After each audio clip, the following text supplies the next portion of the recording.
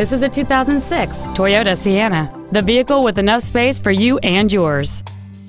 It features a 3.3 liter six cylinder engine and an automatic transmission.